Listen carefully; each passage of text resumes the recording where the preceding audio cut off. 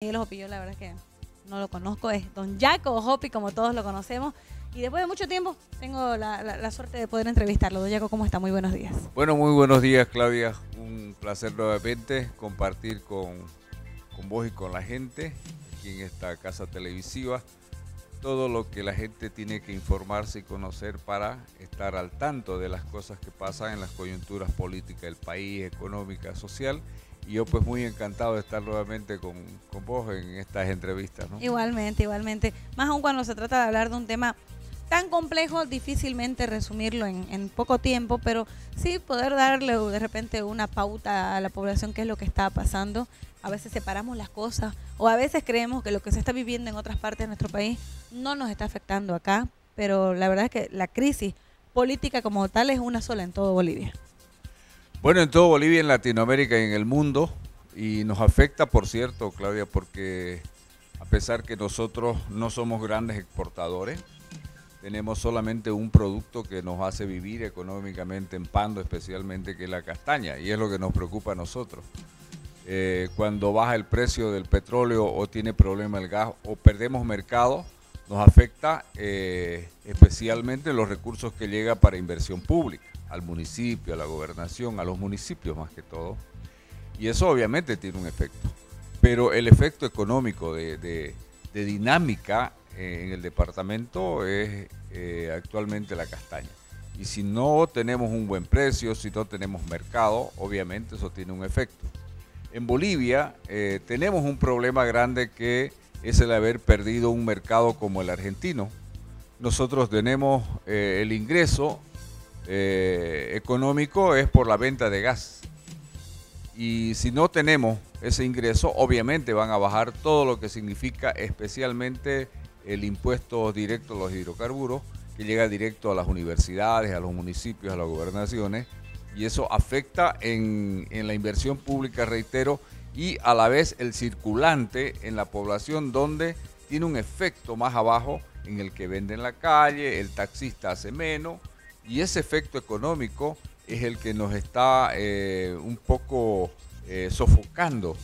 Eh, todos sabemos que el Estado trabaja con recursos de los bolivianos, porque el 80% del, del presupuesto general de la nación está financiado por los bolivianos. O sea, nosotros somos que pagamos impuestos. Y el 20% es por el ingreso que tiene el Estado por venta de eh, hidrocarburos o por venta de recursos naturales, materia prima. Entonces hay un problema económico grande que lo estamos sintiendo los bolivianos, lo sienten más que todo quienes están en el día a día, en su microeconomía, que nosotros le llamamos, son los que generan, Claudia, su propio empleo. Ellos, la gente que está en la calle, la gente que vende, ella es la que genera su propio empleo. Y en algunos casos puede generar hasta un empleo que necesita. Y esa economía, esa microeconomía es la que está sufriendo este, este problema, que no es la guerra, Claudia, que no es absolutamente nada, que al final... Nada tan externo. No, no es.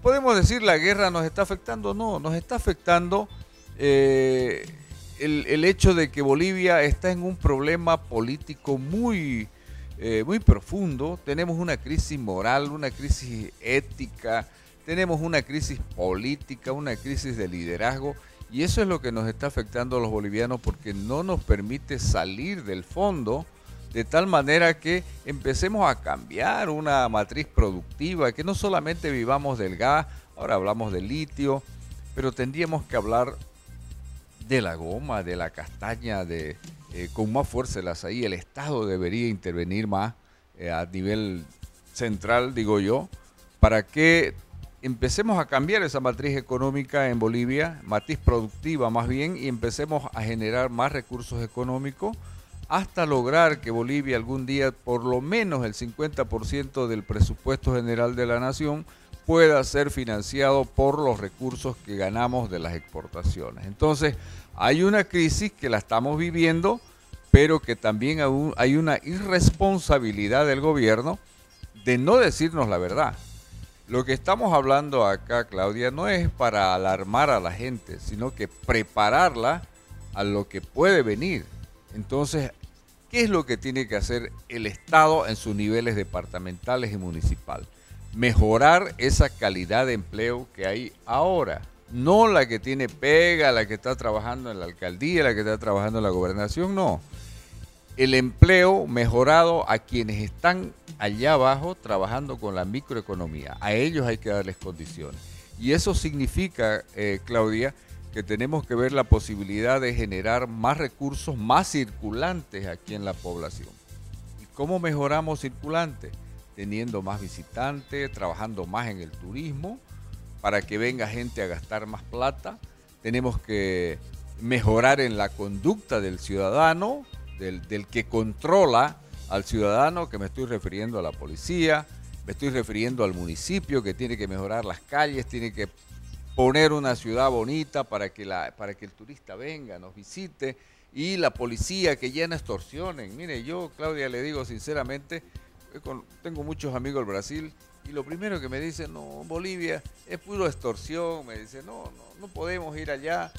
Entonces tenemos que trabajar para acomodar una ciudad y ponerla en condiciones, una capital que nos permita tener este, mayores visitantes, más cantidades, que haya más circulante y tener que darle una eh, posibilidad de esperanza al hombre del campo que se le garantice mercados de producción, ¿no? Los estamos metiendo mucho, digamos, al tema industrial, al, campesino, mientras todavía no lo hemos preparado para tener una producción absolutamente buena, eh, competitiva, que sea sostenible, ¿no? Hay que hacer políticas de apoyo a los campesinos porque nosotros conservamos la Amazonía, Claudia, nosotros nos rajamos el lomo para que el mundo se vea verde. Si usted ve en, la, en el mapa se lo ve verde eh, oscuro a Bolivia, a Pando especialmente, Brasil ya verde clarito.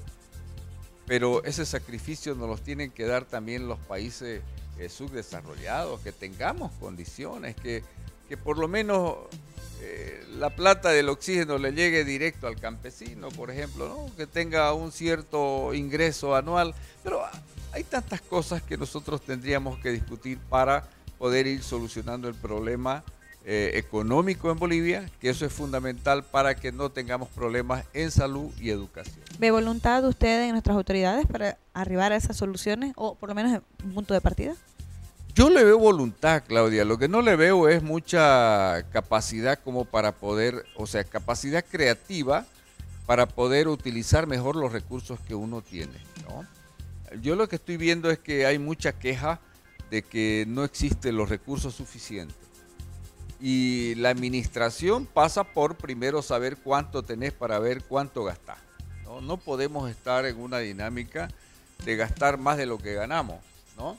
Entonces te estoy diciendo que hay que optimizar los recursos que uno tiene, eh, planificar bien el gasto para no tener exceso de, ellos, o sea, de gasto. Porque si tenés exceso de gasto, obviamente que no vas a tener para lo que te han dado, que es inversión pública.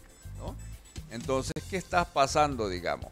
De que si no hay una readecuación eh, de la administración pasando por un buen liderazgo de la autoridad, porque las autoridades tienen que ser líderes en su institución, tienen que saber manejar sus brazos operativos. las autoridades mayores como el alcalde o la alcaldesa o el gobernador, la gobernadora, son autoridades políticas. Tienen que tener un equipo especializado para poder planificar bien eh, el uso de los recursos. No, no es posible que una autoridad, y con las disculpas del caso a mi amiga Ana Lucia, pero yo no comparto el hecho de que nos estén diciendo cada rato que no hay plata. No, no, no. Es que entonces tenemos cero plata. No, tenemos plata, pero hay que saber utilizarla. Entonces, pero eh, antes de criticar, nosotros tenemos que eh, de alguna manera aportar a, a, las autoridades. Solo que a veces las autoridades no, no tenemos nosotros acceso, los ciudadanos, para poder decirle, mire, le sugiero que haga esto, esto, esto, a pesar de que todas las autoridades tienen su equipo de asesoramiento pero hay un asesoramiento mucho más mejor que yo le digo por, con conocimiento de causa, que el mejor asesor es el que está allá afuera, el pueblo. A ese hay que consultarle. ¿Cómo lo ves? ¿Qué, ¿Cómo lo ves mi administración? ¿No? Entonces alguien te va a decir, bueno, mire, yo no lo veo bien. Entonces, uno tiene que ir mejorando, porque al final, cuando uno asume una responsabilidad, Claudia, uno la asume ya como, como autoridad, no como político, partidario. Uno lo tiene que asumir como autoridad. ¿no? Es verdad que esto es falso de que me pongo la polera, me saco la polera del partido. A veces es mentira, pero hay que hacer un esfuerzo. Eh, le tenemos que dar condiciones a, a, nuestro aparato productivo, Claudia. Tenemos que darles condiciones a nuestros microeconómicos, que son los que están abajo. Eh, ¿Y quiénes son esos, digamos? Las autoridades que tienen que hacer un uso excelente de los recursos, organizarse bien y por optimizarlos, lo tanto, por lo tanto. Hoy, claro, por supuesto, porque y optimizar significa planificar de acuerdo a lo que tenés.